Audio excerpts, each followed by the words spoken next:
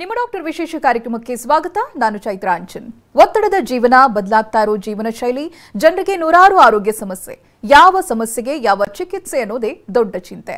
ಇಂತಹ ಸಮಸ್ಯೆ ಇರೋರಿಗೆ ಒಂದೇ ವೇದಿಕೆಯಲ್ಲಿ ಸಿಗುತ್ತೆ ಉತ್ತರ. ಇದೇ ಟಿವಿ ನೈನ್ನ ವಿಶೇಷ ಕಾರ್ಯಕ್ರಮ, ನಿಮ್ಮ ಡಾಕ್ಟರ್.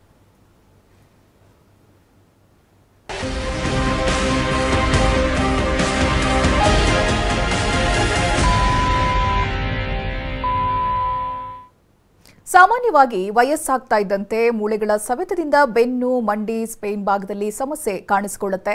ಆದರೆ ಇತ್ತೀಚಿನ ದಿನಗಳಲ್ಲಿ ಮಧ್ಯವಯಸ್ಕರು, ಯುವಕರಲ್ಲೂ ಕೂಡ ಸ್ಪೇನ್ ಸಮಸ್ಯೆ ಹೆಚ್ಚಾಗಿ ಕಾಣಿಸಿಕೊಳ್ತಾ ಇದೆ. ಇದಕ್ಕೆ ಕಾರಣ ಏನು? ಆಧುನಿಕ ಚಿಕಿತ್ಸಾ ಪದ್ಧತಿಯಲ್ಲಿ ಪರಿಹಾರ ಇದೆಯಾ?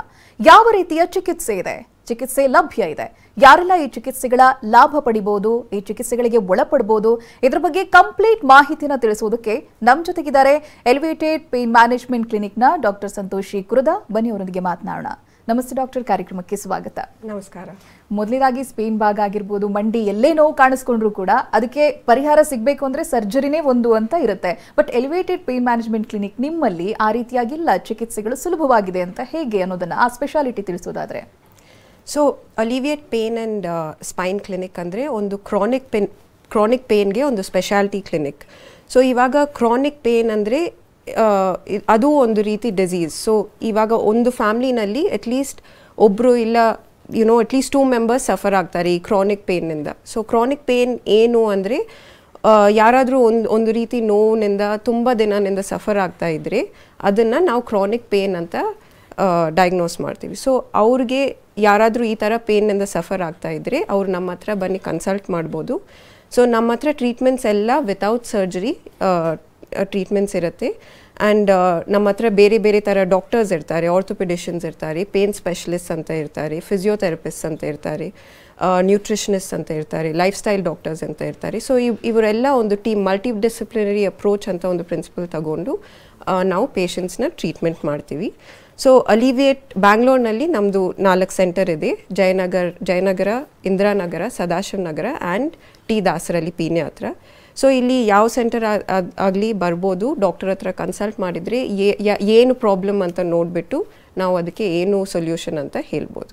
Okay doctor common spine problem ಬಗ್ಗೆ ನೀವು ವಿವರಿಸೋದಾದ್ರೆ so normally common spine problem so usually ತುಂಬ ಜನಗೆ ಈ ಬ್ಯಾಕ್ ಪೇನ್ನಿಂದ ಸಫರ್ ಆಗ್ತಾರೆ. ಸೊ ಬ್ಯಾಕ್ ಪೇನ್ ಅಂತ, ಅಂದರೆ ಯಾಕೆ ಸಫರ್ ಆಗ್ತಾರೆ ಅಂದರೆ ನಾನು ಈ ಮಾಡೆಲ್ನಲ್ಲಿ ಎಕ್ಸ್ಪ್ಲೇನ್ ಮಾಡ್ತೀನಿ. ಸೊ ಇವಾಗ ಈ ಮಾಡೆಲ್ನಲ್ಲಿ ನೋಡಿದರೆ back ಪೇನ್ನಲ್ಲಿ there are more than thirty parts okay so ಈ ಮೋರ್ ದೆನ್ ತರ್ಟಿ ಪಾರ್ಟ್ಸ್ನಲ್ಲಿ ಅದು ಮೂಳೆ ಇರ್ಬೋದು, ಇಲ್ಲ ಮಸಲ್ಸ್ ಆ್ಯಂಡ್ ಲಿಗಮೆಂಟ್ಸ್ ಇರ್ಬೋದು ನರಗಲ್ ಇರ್ಬೋದು ಟೇಲ್ ಬೋನ್ ಅಂತ ಇರುತ್ತೆ. ಸೊ ಇದು, ಇದರಿಂದ ಯಾವ ಯಾವ ಪಾರ್ಟ್ನಿಂದನೂ ಪ್ರಾಬ್ಲಮ್ ಇರಲಿ, ನಮಗೆ ಬ್ಯಾಕ್ ಪೇನ್ ಅಂತ ನಮಗೆ ಸಿಂಪ್ಟಮ್ ಅನ್ನೋದು ಗೊತ್ತಾಗುತ್ತೆ. ಸೊ, ಇವಾಗ ಸಪೋಸ್ ಪ್ರಾಬ್ಲಮ್ ಮೂಲೆನಿಂದ ಇರ್ಬೋದು, ಮೂಲೆನಲ್ಲಿ ಫ್ರ್ಯಾಕ್ಚರ್ ಇರ್ಬೋದು, ಇಲ್ಲ ಮೂಲೆ ಸೌದು ಹೋಗೋದು ಇರ್ಬೋದು, ಇಲ್ಲ ಡಿಸ್ಕ್ನಲ್ಲಿ ಡಿಸ್ಕ್ ಬಲ್ಜ್ ಅಂತ ಇರ್ಬೋದು, ಡಿಸ್ಕ್ ಪ್ರೊಲ್ಯಾಪ್ಸ್ ಅಂತ ಇರ್ಬೋದು, ಸಯಾಟಿಕಾ ಪೇನ್ ಅಂತ ನೀವು ಕೇಳಿ ನೀವು definitely you must have heard. So, ಈ ಥರ ಈ ಥರ ಎಲ್ಲ ಬ್ಯಾಕ್ ಪೇನ್ನಿಂದನೇ ನಮಗೆ ಗೊತ್ತಾಗೋದು. ಸೊ ಅದು ಬ್ಯಾಕ್ ಪೇನ್ ಎಲ್ಲಿನಿಂದ ಬರ್ತಾ ಇದೆ ಯಾಕೆ ಬರ್ತಾ ಇದೆ ಅಂತ ನಾವು ಅದು ಡಯಾಗ್ನೋಸ್ ಮಾಡಿ ಅದಕ್ಕೆ ಟ್ರೀಟ್ಮೆಂಟ್ ಅನ್ನೋದು ಏನು ಅಂತ ಹೇಳ್ಬೋದು. ಓಕೆ ಡಾಕ್ಟರ್ ರಿಸ್ಕ್ ಫ್ಯಾಕ್ಟರ್ ಬಗ್ಗೆ ವಿವರಿಸೋದು ವಿವರಿಸ್ಬೋದಾ ಅಂತ? ಯಾ ಸೊ ಸಿ ಕ್ರಾನಿಕ್ ಪೇನ್ನಲ್ಲಿ ನಾರ್ಮಲಿ ಏನಂದರೆ ಇವಾಗ ಅದು ಜಾಯಿಂಟ್ ಪೇನ್ಸ್ ಆಗಲಿ ಇಲ್ಲ ಮಸಲ್ ಆ್ಯಂಡ್ ಲಿಗಮೆಂಟ್ ಪೇನ್ಸ್ ಆಗಲಿ ಆರ್ಥರೈಟಿಸ್ ಅಂತ ಇರಲಿ ಯುನೋ ಈ ಥರ ಯಾವ ಯಾವ ಪೇನ್ ಆಗಲಿ ಕ್ರಾ ಅದು ಕ್ರಾನಿಕ್ ಪೇನ್ ಅಂತ ಬರುತ್ತೆ. ಸೊ ರಿಸ್ಕ್ ಫ್ಯಾಕ್ಟರ್ಸ್ ಏನು ಇರುತ್ತೆ ಅಂದರೆ ನಾರ್ಮಲಿ ಒಂದು ಏಜ್ ರಿಲೇಟೆಡ್ ಫ್ಯಾಕ್ಟರ್ ಇರ್ಬೋದು. ಓಲ್ಡ್ ಏಜ್ನಲ್ಲಿ ಇವಾಗ ಮೂಲೆ ಸೌದು ಹೋಗೋದು ಆರ್ಥ್ರೈಟಿಸ್ ಅಂತ ಇಲ್ಲ ಫ್ರ್ಯಾಕ್ಚರ್ಸ್ ಅಂತ ಇರ್ಬೋದು. ಅದರಿಂದನೂ ಪೇನ್ ಜಾಸ್ತಿ ಜಾಸ್ತಿ ಆಗ್ತಾ ಇರುವಾಗ ಅದನ್ನ ಕ್ರಾನಿಕ್ ಪೇನ್ ಅಂತ ಹೇಳ್ತೀವಿ. ಸೊ ಬ್ಯಾಕ್ ಪೇನ್ನಲ್ಲಿನೂ ಇವಾಗ ಏಜ್ ರಿಲೇಟೆಡ್ ಓಲ್ಡ್ ಏಜ್ನಲ್ಲಿ ಮೂಲೆ ಸೌದು ಹೋಗೋದು ಮೂಲೆ ಸೌದ್ ಹೋಗಿದ ಮೇಲೆ ಡಿಸ್ಕ್ ಪ್ರಾಬ್ಲಮ್ಸ್ ಬರ್ಬೋದು ಆರ್ಥರೈಟಿಸ್ ಅಂತ ಜಾಯಿಂಟ್ಸ್ನಿಂದ ಆರ್ಥರೈಟಿಸ್ ಬರ್ಬೋದು. ಅದೇ ಥರ ವ್ಯವಸಾಯ ಮಾಡೋ ಅವ್ರಿಗೆ ತುಂಬ ಈ ಈ ಡಿಸ್ಕ್ನಿಂದ ಪ್ರಾಬ್ಲಮ್ ಬರ್ಬೋದು. ಇಲ್ಲ ಜಿಮ್ ಹೋಗೋ ಅವ್ರಿಗೆ ವೇಟ್ ಲಿಫ್ಟರ್ಸ್ಗೆ ಅವ್ರಿಗೂ ಈ ಥರ ಡಿಸ್ಕ್ ಪ್ರೊಲ್ಯಾಪ್ಸ್ ಅಂತ ಡಿಸ್ಕ್ ಬಲ್ಜ್ ಅಂತ ಪ್ರಾಬ್ಲಮ್ ಬರ್ಬೋದು.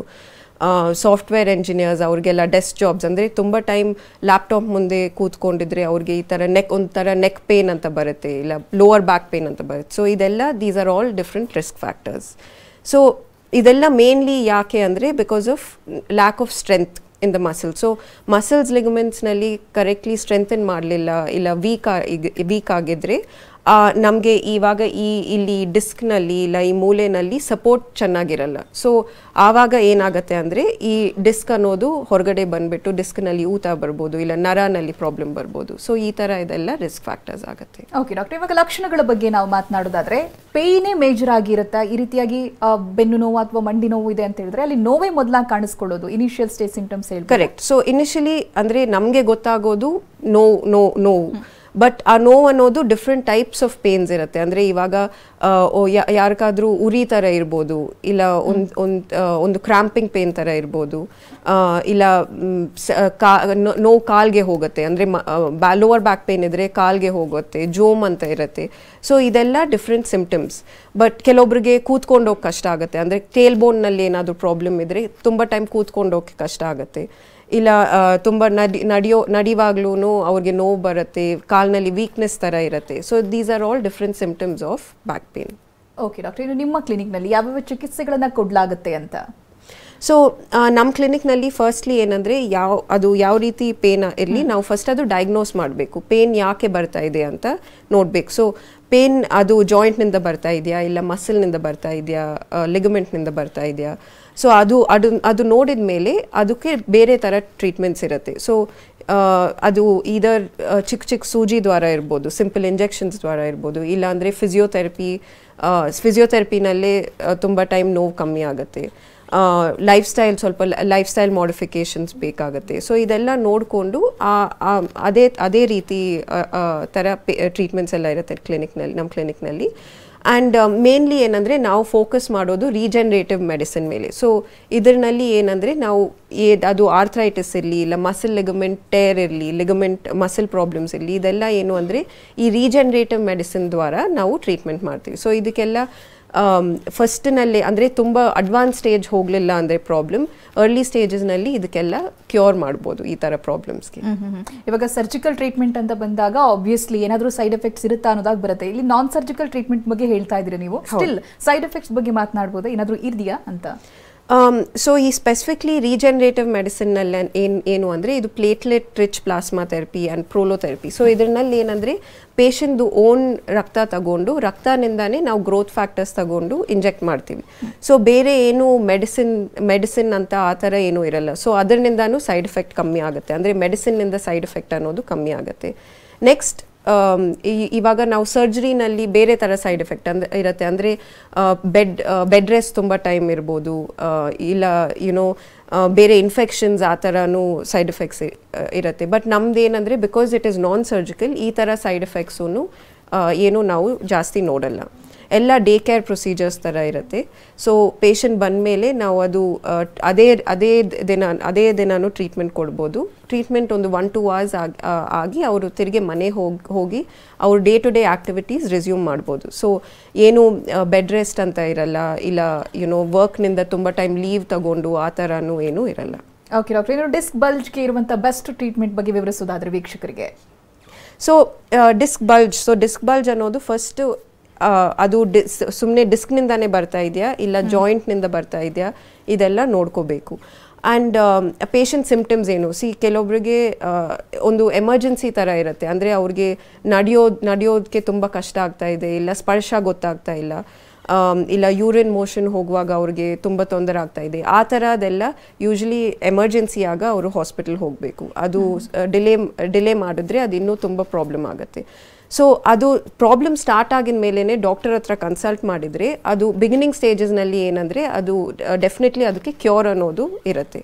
ಸೊ ಈ ಥರ ಡಿಸ್ಕ್ ಬಲ್ಜ್ನಲ್ಲಿ ನಾವು ಏನು ಮಾಡ್ತೀವಿ ಅಂದರೆ, ಇದೇ ಥರ ಸಿಂಪಲ್ ಇಂಜೆಕ್ಷನ್ಸ್ ದ್ವಾರ ಆ್ಯಂಡ್ ಇಮೇಜ್ ಗೈಡೆನ್ಸ್ನಲ್ಲಿ ಸೊ ಈ, ನ, ಒಂದು ಎಂ ಆರ್ ಐ ಮೆಷಿನ್ ಇರುತ್ತೆ ಫ್ಲೋರೋಸ್ಕೋಪಿ ಮೆಷಿನ್ ಅಂತ ಇರುತ್ತೆ ನಮ್ಮ ಹತ್ರ ಅಲ್ಟ್ರಾಸೌಂಡ್ ಮೆಷಿನ್ ಅಂತ ಇರುತ್ತೆ. ಸೊ ಇದರಲ್ಲಿ ಏನಂದರೆ, ನಾವು ಸ್ಪೈನ್ನಲ್ಲಿ ಯಾವ ಭಾಗ, ಯಾವ ಪಾರ್ಟ್ನಿಂದ ನೋವು ಬರ್ತಾ ಇದೆ ಅಂತ ನೋಡ್ಬೋದು. ಅದು ನೋಡಿ ಅದೇ ಅದನ್ನೇ ಯೂಸ್ ಮಾಡಿ ನಾವು ಇಂಜೆಕ್ಷನ್ ಇಂಜೆಕ್ಷನ್ ದ್ವಾರಾನೇ ನಾವು ನಾವು ಆ ಡಿಸ್ಕ್ ಬಲ್ಜ್ಗೂ ಪ್ರಾಬ್ ಪೂರ್ತಿ ಕ್ಯೂರ್ ಮಾಡ್ಬೋದು. ಇವಾಗ ಸ್ಪೈನ್ ಆಗಿರ್ಬೋದು ಬೆನ್ನುವಿನ ಸಮಸ್ಯೆನ ತಡೆಯೋದು ಹೇಗೆ ಬರದ ಹಾಗೆ ಅನ್ನುವಂಥ ಪ್ರಶ್ನೆ ಇರುತ್ತೆ ವೀಕ್ಷಕರಿಗೆ ಏನು ಹೇಳ್ತೀರಾ?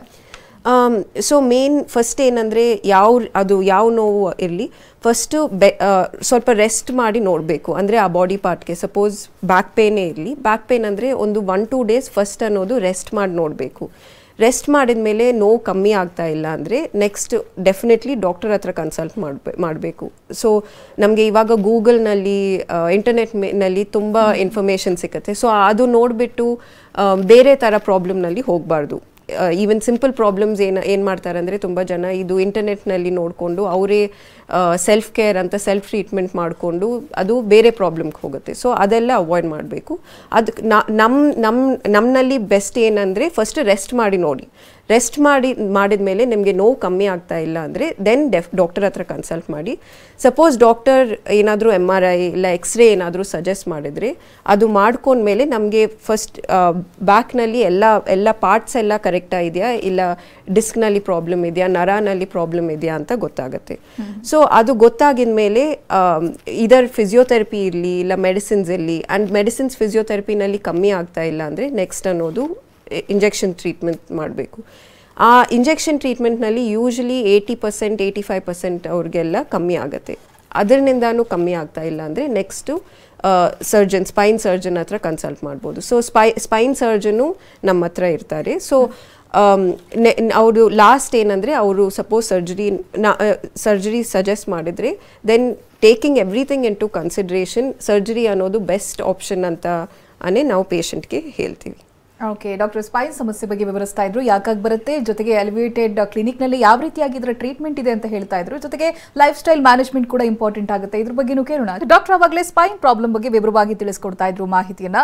ಡಾಕ್ಟರ್ ಯಾವುದೇ ಪೇನ್ ಕಾಣಿಸ್ಕೊಂಡಾಗ ಯಾವ ಒಂದು ಸಮಯ ಸೂಕ್ತ ಅಂತ ಡಾಕ್ಟರ್ನ ಯಾವಾಗ ಭೇಟಿ ಆಗಬೇಕು ಸೊ ಒಂದು ನೋವು ಅನ್ನೋದು ಸಪೋಸ್ ರೆಸ್ಟ್ ಮಾಡಿದ ಮೇಲೆ ಇಲ್ಲ ಮಾತ್ರ ತಗೊಂಡ್ಮೇಲೆ ಕಮ್ಮಿ ಆಗ್ತಾ ಇಲ್ಲ ಅಂದರೆ ಆ್ಯಂಡ್ ಅದೇ ನೋವು ದಿನ ದಿನ ಜಾಸ್ತಿ ಆಗ್ತಾ ಇದೆ ನಮ್ಮದು ನಾರ್ಮಲ್ ಆ್ಯಕ್ಟಿವಿಟೀಸ್ ಮಾಡೋಕ್ಕೆ ಕಷ್ಟ ಆಗ್ತಾ ಇದೆ ಇದು ಹೌಸ್ ಮೇಕರ್ಸ್ನಲ್ಲಿ ಅವ್ರಿಗೆಲ್ಲ ಏನಂದರೆ ಅಡುಗೆ ಮಾಡೋಕ್ಕೆ ಕಷ್ಟ ಆಗ್ತಾ ಇದೆ ತುಂಬ ಟೈಮ್ ನಿಂತ್ಕೊಂಡೋಗಿ ಕಷ್ಟ ಆಗ್ತಾ ಇದೆ ಇಲ್ಲ ಸಾಫ್ಟ್ವೇರ್ ಇಂಜಿನಿಯರ್ಸ್ನಲ್ಲಿ ತುಂಬ ಲ್ಯಾಪ್ಟಾಪ್ ಮುಂಚೆ ಕೂತ್ಕೊಂಡು ಅವ್ರಿಗೆಲ್ಲ ಈ ಕತ್ತು ನೋವಿನಿಂದ ಕೈಯೆಲ್ಲ ಜೋಮ್ ಬರ್ತಾ ಇದೆ. ಸೊ ಆ ಥರ ಸಿಂಪ್ಟಮ್ಸ್ ಇರುವಾಗ ಏನಂದರೆ ಡೆಫ್ ಫಸ್ಟ್ ಡಾಕ್ಟರ್ ಹತ್ರ ಕನ್ಸಲ್ಟ್ ಮಾಡಬೇಕು. ಬಿಕಾಸ್ ಇದು ಅರ್ಲಿ ಆಗಿ ಡಯಾಗ್ನೋಸ್ ಮಾಡಿದರೆ ಯಾವ ಪ್ರಾಬ್ಲಮ್ ಇರಲಿ, ಅದು ಅರ್ಲಿ ಡಯಾಗ್ನೋಸಿಸ್ ಇದ್ದರೆ ಟ್ರೀಟ್ಮೆಂಟು ಕ್ಯೂರೂ ರಿಸಲ್ಟ್ ಚೆನ್ನಾಗಿರುತ್ತೆ.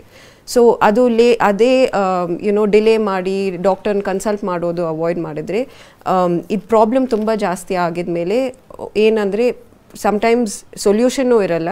ಆ್ಯಂಡ್ ಸೊಲ್ಯೂಷನ್ ಇದ್ರೇನು ರಿಸಲ್ಟ್ ಅನ್ನೋದು ಚೆನ್ನಾಗಿರಲ್ಲ. ಎಸ್ಪೆಷಲಿ ಇವಾಗ ಮಂಡಿ ಮಂಡಿನಲ್ಲಿ ಆಸ್ಟಿಯೋ ಆರ್ಥರೈಟಿಸ್ ಅನ್ನೋದು ನಾವು ಎಕ್ಸಾಂಪಲ್ ತಗೊಂಡ್ರೆ ಅರ್ಲಿ ಸ್ಟೇಜಸ್ನಲ್ಲಿ ಏನಂದರೆ ಆರ್ಥೋಪಿಟಿಷನ್ಸ್ ಹತ್ರ ಕನ್ಸಲ್ಟ್ ಮಾಡಿದ ಮೇಲೆ ಅವರು ನಾರ್ಮಲಿ ಮೆಡಿಸಿನ್ ಫಿಸಿಯೋಥೆರಪಿ ಅಂತ ಹೇಳ್ತಾರೆ. ಬಟ್ ಆ ಸಪೋಸ್ ಅದೇ ಅದೇ ಆಸ್ಟಿಯೋ ಅಥ್ರೈಟಿಸ್ ಅವರು ನಮ್ಮ ಹತ್ರ ಬಂದರೆ ನಮ್ಮ ಹತ್ರ ಈ ತ ಈ ಥರ ರೀಜನ್ರೇಟಿವ್ ಮೆಡಿಸಿನ್ ಅಂತ ಮಾಡಿದರೆ ಪ್ಲೇಟ್ಲೆಟ್ ರಿಚ್ ಪ್ಲಾಸ್ಮಾ ಥೆರಪಿ ಅಂತ ಮಾಡಿದರೆ ಆ ಸೌದ್ ಹೋಗ್ತಾ ಇರೋ ಕಾರ್ಟಿಲೇಜ್ ಅಂತ ಸೌದ್ ಹೋಗ್ತಾ ಇರೋದು ಅದು ತಿರುಗಿ ನಾವು ಹೀಲ್ ಮಾಡ್ಬೋದು ಕ್ಯೂ ಅದು ತಿರುಗಿ ಕ್ಯೂರ್ ಮಾಡ್ಬೋದು. ಸೊ ಅವ್ರಿಗೆಲ್ಲ ಈ ಆಸ್ಟಿಯೋ ಆರ್ಥರೈಟಿಸ್ ಅನ್ನೋದು ಲಾಸ್ಟ್ ಸ್ಟೇಜ್ಗೆ ಹೋಗಲ್ಲ.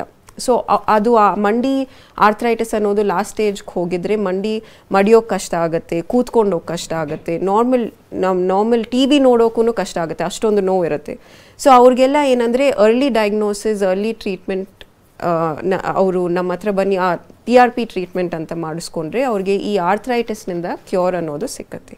ಡಾಕ್ಟರ್ ಇವಾಗ ಸ್ಪೈನ್ ಪ್ರಾಬ್ಲಮ್ ಒಂದೇ ಆದರೂ ಕೂಡ ವ್ಯಕ್ತಿಯಿಂದ ವ್ಯಕ್ತಿಗೆ ಬೇರೆ ಬೇರೆ ಕಾರಣಗಳನ್ನು ನೋಡ್ಬೋದಾ? ಅಲ್ಲಿ ಮೇಲ್ ಫೀಮೇಲ್ ಅಂತ ಬಂದಾಗ ಮೇಜರ್ ಆಗಿ ಯಾರಲ್ಲಿ ಹೆಚ್ಚಾಗಿ ಕಾಣಿಸ್ಕೊಡುತ್ತೆ? ಸೊ ಸೊ ಸ್ಪೈನ್ ಪ್ರಾಬ್ಲಮ್ಸ್ನಲ್ಲಿ ಏನಂದರೆ ಯೂಶ್ವಲಿ ಮೇಲ್ ಫೀಮೇಲ್ ಅಂತ ಅನ್ನೋದು ಏನೂ ಇರಲ್ಲ.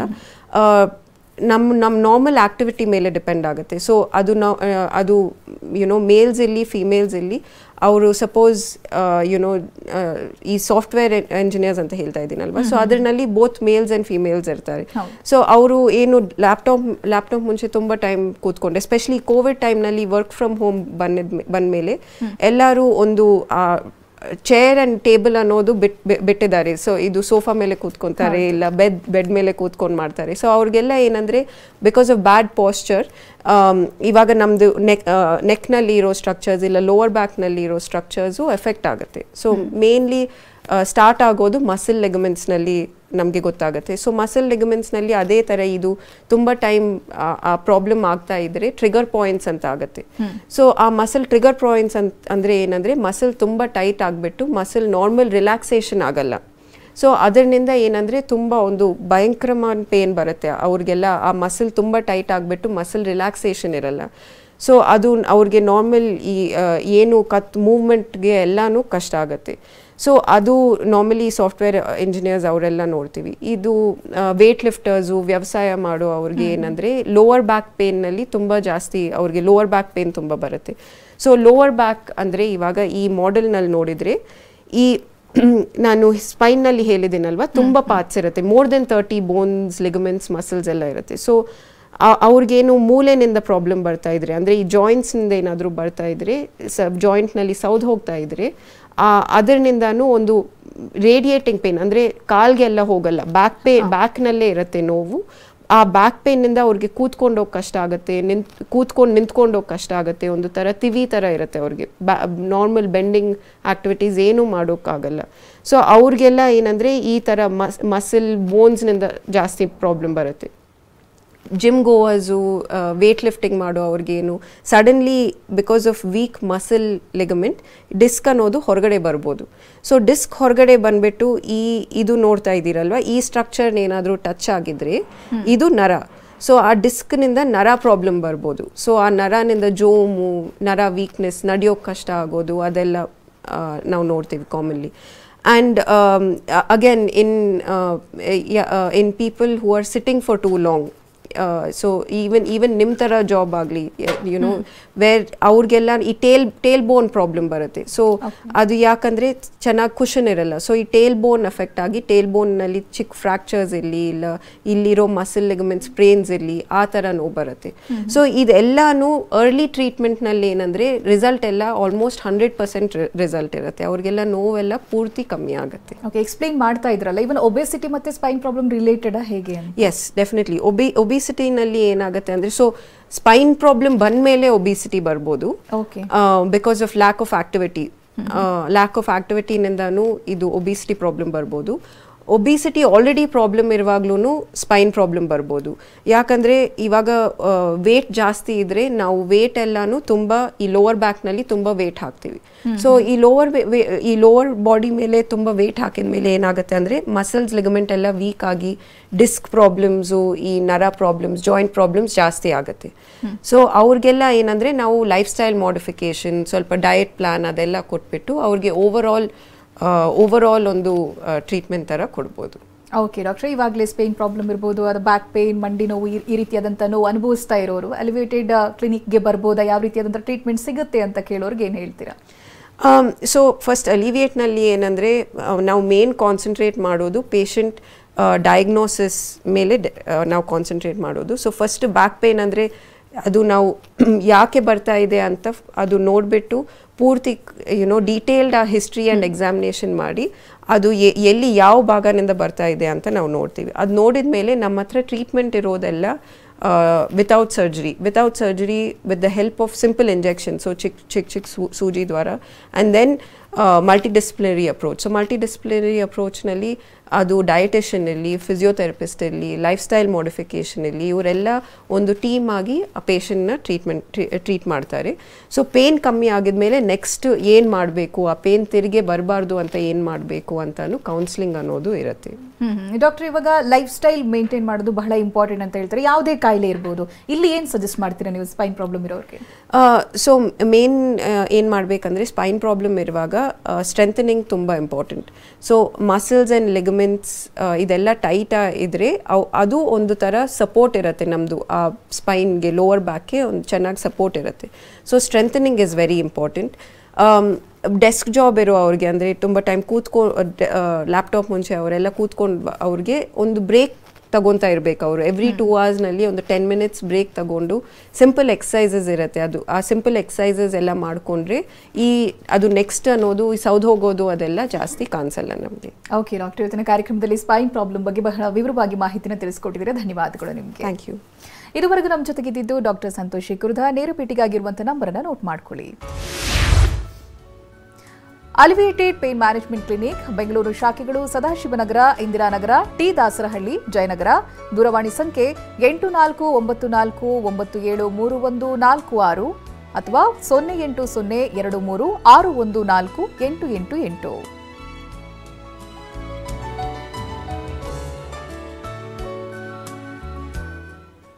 ಇದೇ ಹೊತ್ತಿನ ವಿಶೇಷ, ನಿಮ್ಮ ಡಾಕ್ಟರ್ ನಿರಂತರ ಸುದ್ದಿಗಾಗಿ ನೋಡ್ತಾ ಇರಿ, ಟಿವಿ ನೈನ್.